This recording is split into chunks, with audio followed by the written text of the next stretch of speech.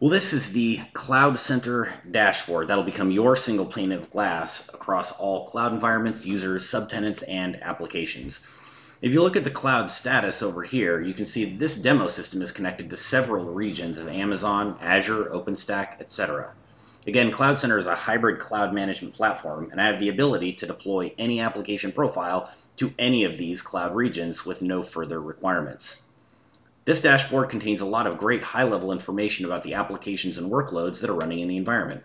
For example, I can see cloud costs broken down by the different cloud types, VM hourly usage, and number of concurrently running VMs. For example, you can see that right now I have 13 currently running VMs. Beyond that, I can also see my budget of $50,000 here, of which I've consumed $12,500 uh, roughly. Um, this is part of our internal budgeting mechanism that can constrain how many cloud resources users are able to consume. I'll say more about it later, but these budgets can be applied to users, projects, or even whole tenants within the platform. Without spending too much time here, I can also see the last few running jobs, favorite deployments, notifications, and VM usage over time.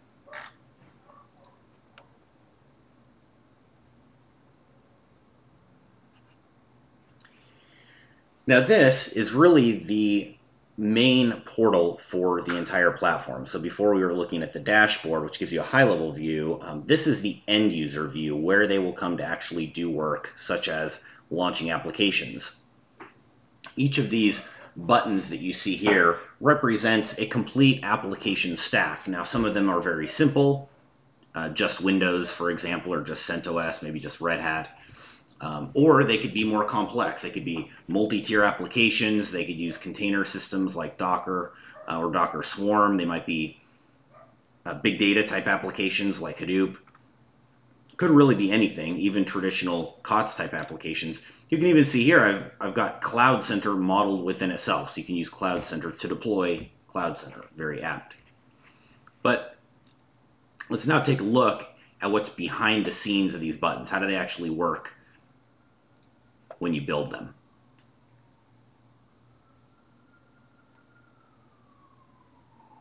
This is the Cloud Center application topology modeler. And you can see here, let me just spread these out a little bit. We've got a three-tier application, WordPress in this case, but it's got a load balancer, it's got a web server, and it's got a database tier.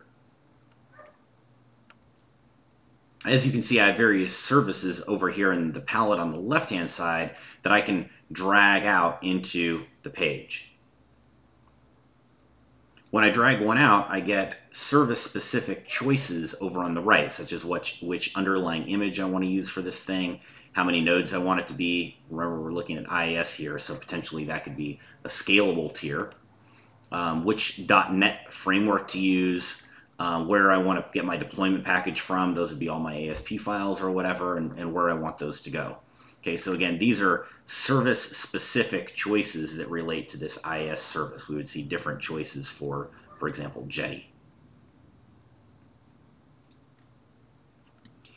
Once we drag these out, we connect them with lines. Um, these lines really control the initialization order of the services from the bottom up. Now, these roughly correspond to uh, a VM each, um, though that certainly doesn't have to be the case. Um, so this would be a MySQL VM that gets spun up first, followed by Apache as a web server, and then finally the load balancer. Um, some of the services might be more than one VM, um, such as here for the web, the web tier. It's got a minimum of one to a maximum of four nodes within this tier, and I could certainly increase that. I could even set the minimum up a little bit higher if I wanted to make sure that it's always got high availability, and all the load balancer logic gets, gets taken care of automatically. But I could even have zero VMs. Uh, for example, um, let's see here. I might pull out, I don't know, Elastic Load Balancer, or this might be an external F5 load balancer if you want to use something in your own data center. But this wouldn't spin up a new VM. This would just connect to an existing F5.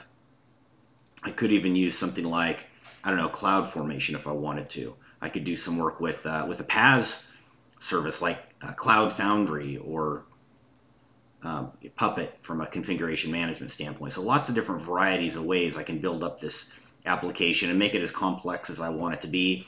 And Cloud Center is not at all prescriptive as to the tools and technologies that you use to build up your application stack. Now that's all well and good, but let's look at building one from scratch because that's what uh, you'll want to do first thing, of course, is you'll say, well, how do I build one of these applications um, from the ground up? And besides that, um, what's kind of the minimum point of entry for this? let me show you here as we model an application. That's it. Frankly, um, that's all you really need for an application, and, and that might well be all you do on day one. A lot for a lot of our customers, it's really just Red Hat and Windows, maybe CentOS on that day one, right? But you still get a lot of value, even when the what you're deploying is very simple. It's just basic VMs. Still, the governance and the budgets and the self-service portal and the compliance aspects to it um, still add tremendous value to the platform, even when the what you're deploying is um, very, very simple. Okay. So I'd start there and I'd come over here, maybe uh, give it a name, maybe a version if I want to, and then I would save it out and that'd be my application. And that would be a Red Hat button that would show up on somebody's um, end user portal and then they could click that button and get a Red Hat server. Very simple. You might say, okay, um, what's day two? If that's day one, how do we make that a little bit more complex? And that's where you can say, all right, well, we don't necessarily need the entire stack, but I just want to give somebody a MySQL button to click. Everybody keeps calling and they ask me for MySQL, and I just want to give them a MySQL button. So boom, that's your app. There's no um, there's no database data that gets bootstrapped in there or anything. It's just a naked, empty MySQL server at that point, and that's perfectly fine. Again, that's nice um, from kind of a database as a service model. Now, one interesting thing you could do here too, again, think about not all of these are going to be VMs. You could do this. You could have a SQL Server um, button here, and this is not going to spin up necessarily a new VM with a new copy of SQL Server and a new everything. Um, what it may well do is just connect to an existing SQL Server and create a new database instance on that SQL Server. Okay, so just food for thought. All right, now let's take a look at actually deploying one of these things. So I could, um, you know, if there's one in particular you want me to click, go for it. But um, barring that, I think I'll just click over here on my, my WordPress here. And we'll go through, and so I'll give it a name. Um, and I'll choose the version of the application that I want. In this case, I'll choose 5. Um, and that, by the way, that's the version of the Cloud Center application profile. It doesn't necessarily relate to the WordPress version per se. Um, and over here, I've got my tags. Um, I'll choose demo. Now, tags are part of how we implement governance policy. So you can see that when I apply that demo tag, it's going to constrain how long that, that application is allowed to live. It locks me into this 12-hour aging policy. Okay. Then there's a few, a little bit more Q&A here. Um, this is set up to automatically register itself with my monitoring tool, Sensu in this case. Um, it's pulling a specific set of code, again, for this application profile. This is not the WordPress version necessarily. This is the version of the Cloud Center app, and this is the tag that I used to, to pull that code, and then um, the S3 path that we're going to use for backups and uh, in a migration scenario. Anyway, then I'll click Next, and then I get to pick which of the clouds I want to deploy to within my demo deployment environment. So remember, the tag locked me into an aging policy. It's also locking me into a deployment environment, in this case, the demo environment. And I have a more limited selection of clouds to choose from in that case. Um, Virginia is fine, um, Amazon Virginia. And then over here, I get to pick which instance type I want. Now, again, for demo purposes, just to show you, I've actually hidden the hardware specs and the individual costs of these uh, instance types. That's a configurable option in the deployment environment, and you may or may not want to expose those details to your end user, right? But at the very least, they'll get the names of the instance types.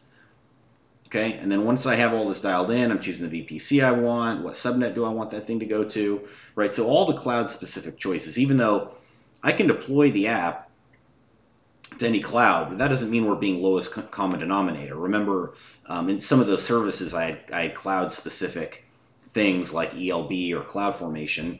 Um, and over here, I'm getting cloud specific choices as well, which VPC, which availability zone and network. Okay, do I want it to have a public IP? And then once I get all that done, then I'm going to go over here and click deploy. And then once the application is deployed, it shows up right over here on my deployments page. Let me click into one of these, maybe this roller weblog here, to, to give you an example.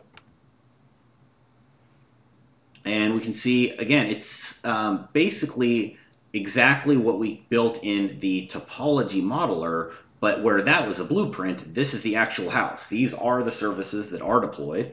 We've got a database here, MySQL. You can see its node ID.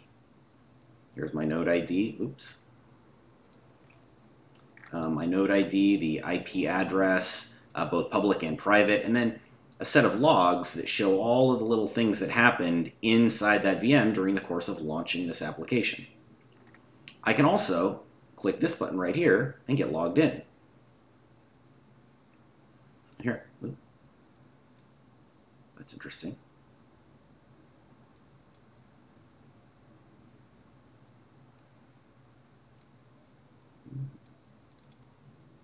That's a little better. so you can see I got logged in. Now this is an HTTP SSH proxy layer, and one of the nice things here is I was able to get logged into this machine, but you didn't have to give me a password or an SSH key. In fact, port 22 is not even open from me to that VM. It's all going through Cloud Center. What that means is no matter what I do as an end user, you as the administrator are maintaining control over how and whether I can access that VM or not. That's very important from a security perspective, right? You don't want people to have to have direct SSH access to your, to your machines. Okay, and then obviously if I click this link, there's the roller weblog, the complete application stack was deployed.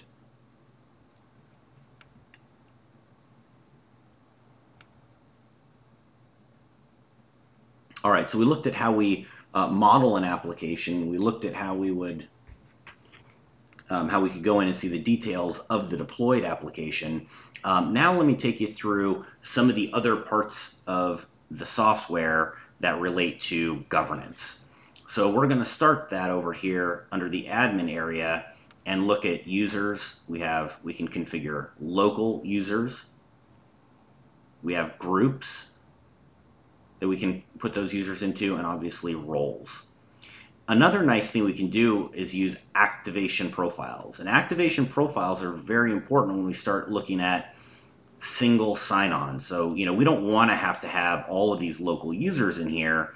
Um, in production scenarios, we typically would connect to something like ADFS or Okta, really any SAML2 uh, provider, um, and that's going to allow us to lo- have users logging in automatically based on, for example, an AD role or something like that, or an AD group. Um, but in order to facilitate that, we have act- activation profiles that provide defaults for all of those incoming users based on what group you put them into.